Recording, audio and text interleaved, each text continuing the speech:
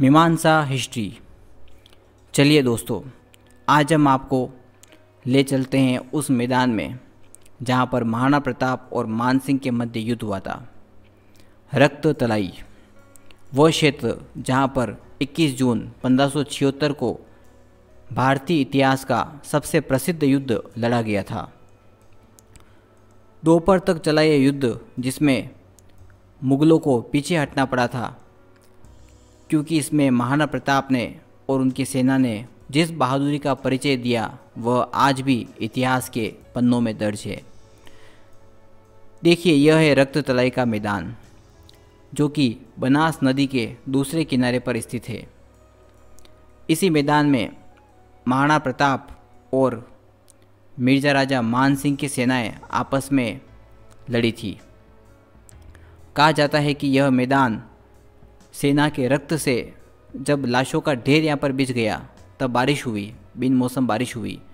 तब उस बारिश से यहाँ पर खून से नाला चलना शुरू हो गया, जिस कारण से इसका नाम और एक तालाब का रूप ले लिया, जिस कारण से इसका नाम रक्त तलाई पड़ा है।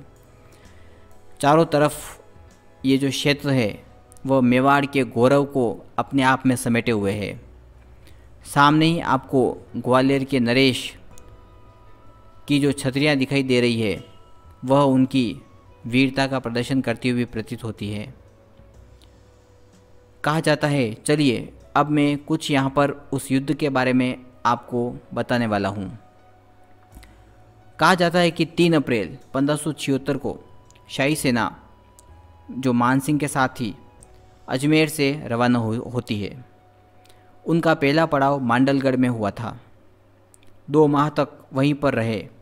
तथा उसके बाद वह आगे नाथद्वारा से लगभग खमनौर के मोलेला नामक गाँव के पास आकर उन्होंने अपना पड़ाव डाला और उधर उस शाही सेना के आगमन की सूचना महाराणा प्रताप को हुई और वो भी आ गए।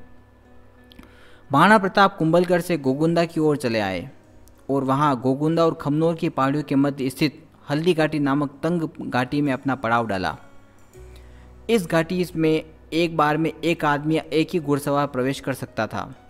इसलिए सैनिकों की कमी होते हुए भी महाराणा प्रताप के लिए यह एक सर्वोत्तम स्थान था।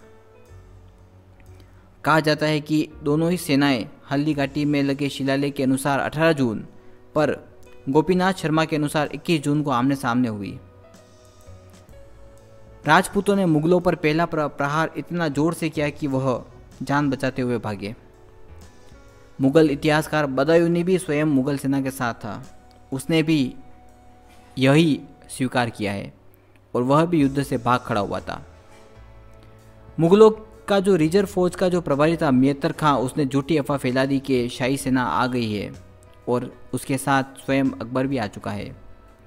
प्रथम प्रहार में जो राजपूती सेना जीत चुकी थी, वह अब खुले मैदान में आ चुकी थी और वही खुला मैदान आपके सामने है, रक्त तलई।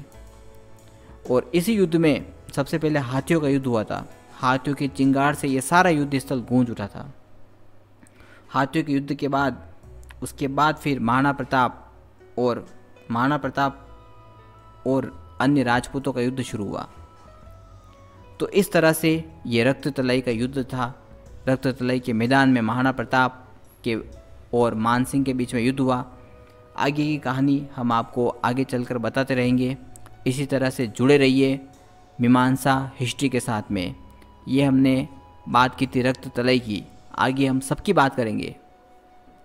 Join us thank you very much